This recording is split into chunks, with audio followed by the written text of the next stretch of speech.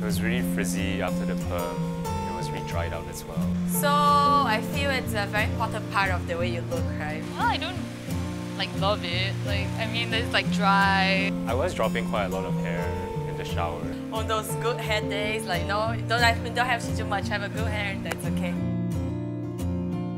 It does. Uh, my job requires me to face my clients all the time as well. It affects everybody's confidence, right? Like, bad hair days are, are like real. If you have like a nice hair or if you have like a very, I don't know, messy hair or something, of course you'll feel different about it, yes. Hats.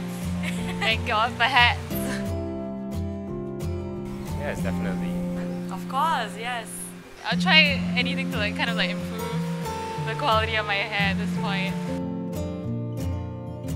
From start to finish, it was really good.